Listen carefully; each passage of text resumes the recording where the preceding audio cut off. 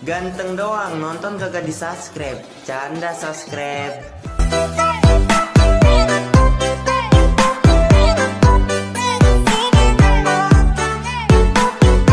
Hai guys, welcome back with me. Pada video kali ini gue akan share tutorial cara buat video jari jeruk dan aplikasi Motion tentunya menggunakan lagu DJ yang lagi viral di TikTok. Untuk hasilnya akan menjadi seperti ini.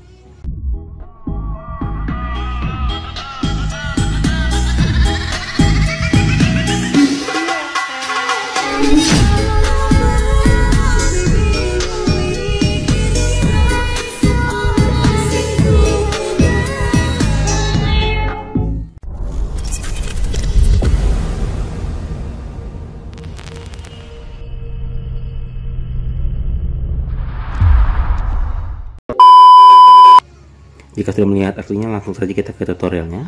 Seperti biasa, kalian buat project baru ya. Dan jika sudah kalian buat project barunya, di sini bentar, bentar, sini kalian masukkan itu mentahan audionya ya. Mentahan audionya ada di pin komentar dan lanjut tanda sampai di akhir. Kemudian di sini tambahkan satu buah foto kita pakai fotonya lagi aja lah. Karena nggak ada foto lain. Oke sebentar. Kayaknya udah. Kita pakai foto rose aja lah. Foto rose aja lah. Oke nah ini.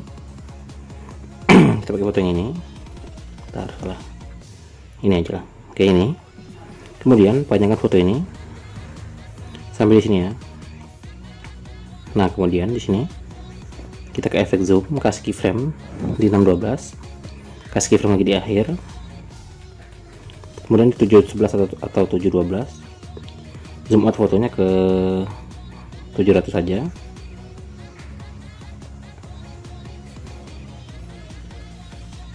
eh ntar ini kita buang keyframe di akhir ini. Nah ini taruh di akhir kurva seperti ini. Oke. okay kemudian kevek muter ini kasih keyframe di 612 di akhir kita kasih kedua kali 0 menekan kanan. Kurva kasih seperti ini.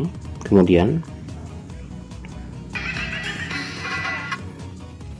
di sini tambah foto kita tambah foto baru. Oke. Ntar salah. Oke kita tambah, tambah foto baru aja ya.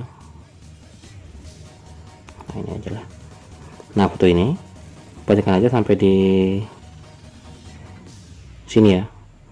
1022 potong tengah di sini. Nah oke. Okay. kemudian di sini kita ke efek zoom. Kasih keyframe di akhir. Kasih keyframe lagi ke 1300 menentukan kiri. Kurvanya kita kasih seperti ini. Kemudian ke efek muter. Kasih keyframe di akhir. Di sini kita kasih ke min 180 tekan kiri. Kurvanya kasih seperti ini. Kita balik. Kasih ke ini ya kita kasih. Nah gitu. Kita lihat dulu. Oke seperti itu. Nah. Nah gitu ya. Jika sudah kita tambah efek. Kita ke ubin aja aktifkan cermin.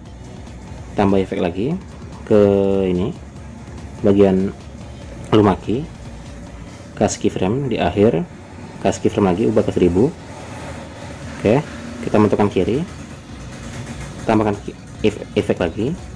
Kita ke motion blur. Nah di sini kita ubah ke 250 oke. Nah jika sudah atau kita ubah ke satu satu aja. Eh kedua aja lah kita kedua ya. Jika sudah. Nah foto ini kita ke efek zoom lagi. Kasih keyframe di awal dan di akhir. Kasih keyframe oke okay, kasih keyframe di awal dan di akhir ya. Kemudian kita kasih keyframe lagi di 50% nah kita zoom aja ke 1200 oke okay, kurvanya seperti ini. Oke okay, guys. Nah di 1022 tambah foto baru. Oke sebentar. Ini aja. Oke tangan foto ini kita panjangkan. Sampai di sini aja. Atau di sampai sampai di sini ya. 1501 kemudian kita potong tengah di sini. Nah yang di sini kita ke efek zoom. Kasih keyframe di awal dan di akhir. 1202 kita kasih ke 1200 oke. Bentar. Bentar guys kayaknya ada salah. Ini kita kasih keyframe di 1108 oke. Kita kasih keyframe di sini aja. Kemudian di sini. Bentar taruh di sini. Nah gini ya kasihnya. Nah oke. Di sini kita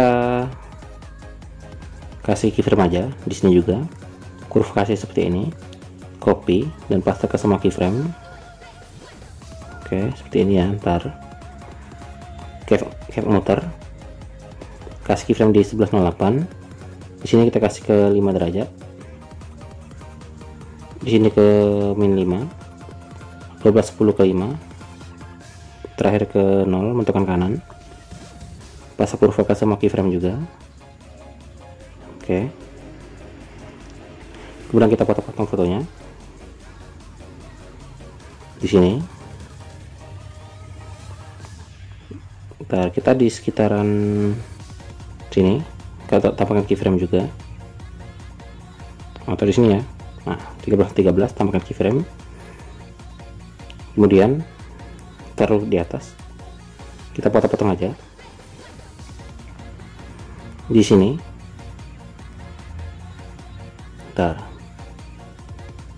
oke seperti itu. Tambahkan foto lagi di sini ya.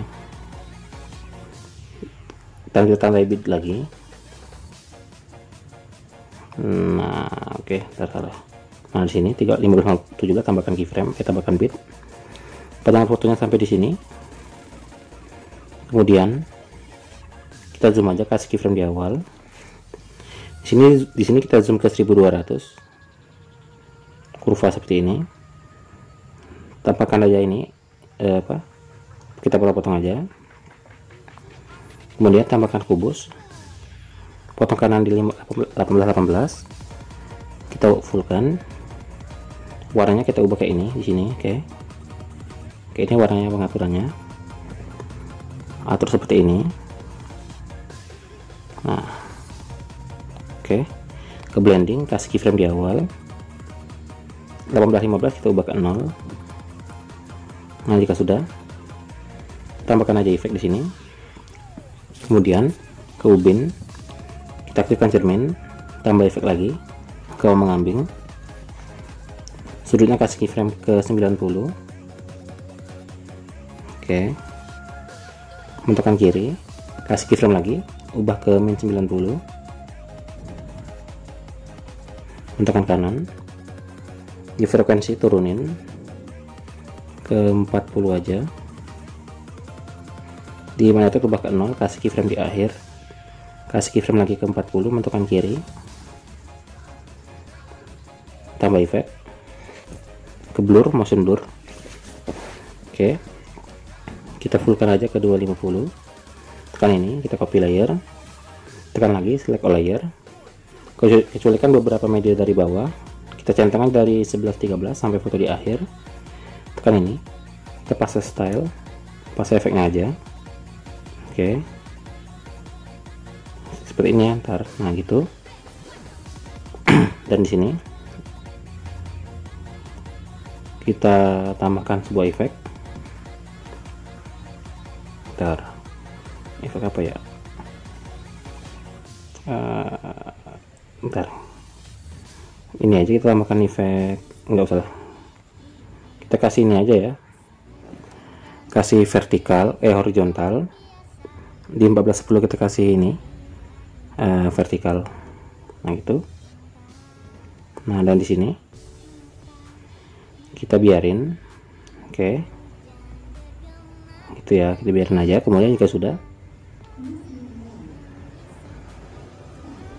jika sudah seperti itu udah kayak ini aja nggak ada efek apa-apa lagi. Namun di sini kita copy efek di sini ya copy efek.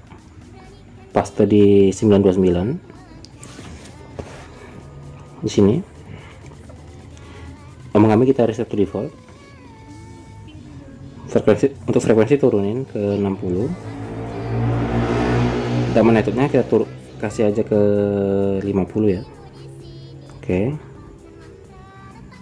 atau jika ngerasa kurang ini kita turunin lagi ke 50 tambahkan efek. Kita ke ayun. Matikan motion blur biar nggak naik nah frekuensi ini kita kasih ke 80 juga. Untuk sudut satu kasih ke min 1,5 sudut duanya ke 1,5 oke. Nah gitu kita lihat kayak gitu ya udah pas. Nah baru kita aktifkan lagi efek ini motion blur. Oke.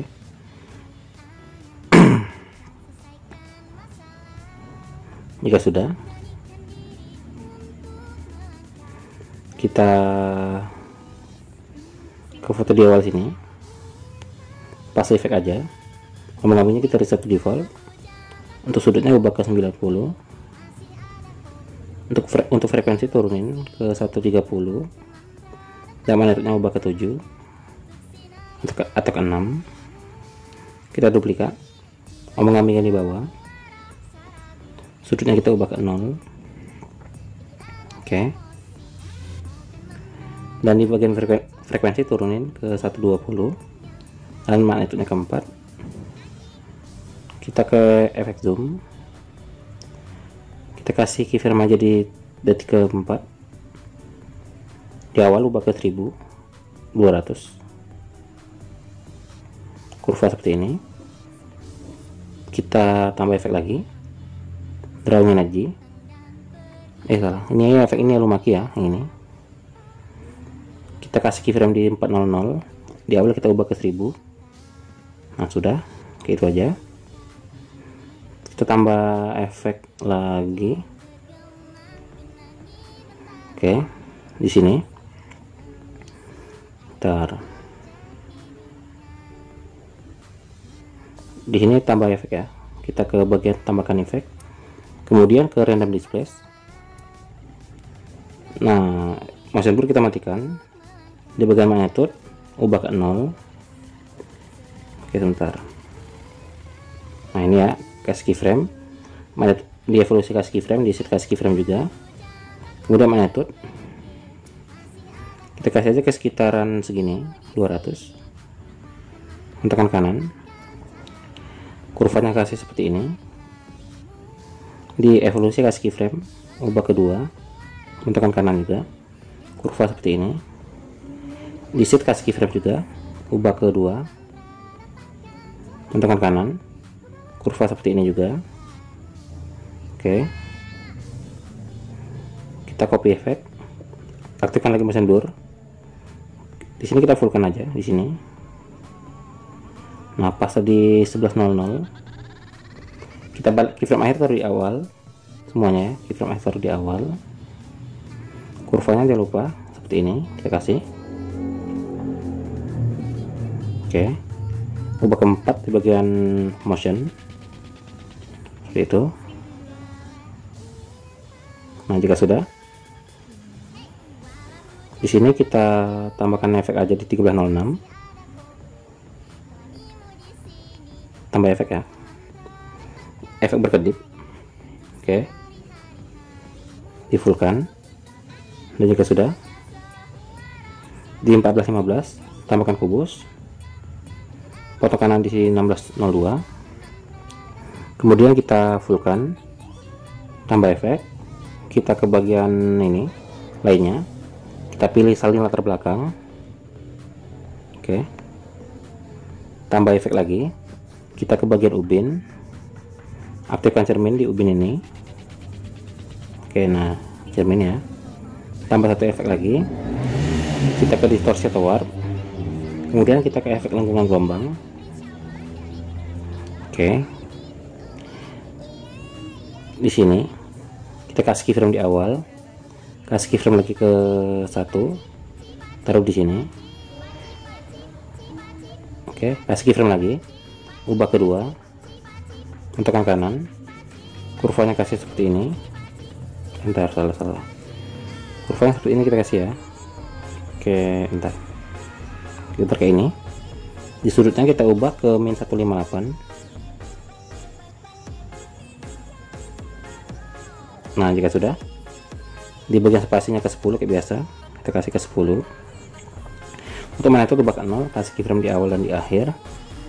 Di bit tengah itu kita kasih ke 6 taruh di sini. Kurvanya kasih kayak gini. Oke. Kita duplikat. Yang bawah. Untuk magnetok ini kita kasih kurva kayak ini aja. Oke. Dan di bagian sudut ubah ke min 3 min 38 min 58 ya. Oke. Itu kemudian jika sudah kembali. Kita masuk ke project sebelumnya aja. Oke. Kita ambil tiga efek coloring ini. Kita copy tiga layer kembali. Masuk ke project yang baru kita buat tadi. Pasang tiga layer. Kemudian kita ini panjangkan semua layernya sampai di akhir sini. Kemudian kita ke bagian yang waveform ini. Di bagian magnitude jadi bagian pasen ya. Di sini kita kasih ke satu aja. Di akhir ini. Yang di bawah juga sama. Di sini kasih ke satu. Bentukan kanan. Kemudian kita ubah fps ke 60 lalu kita ekspor dan oke okay, sekian untuk tutorial kali ini. Please like and subscribe. Dan sampai jumpa di video berikutnya guys. Dadah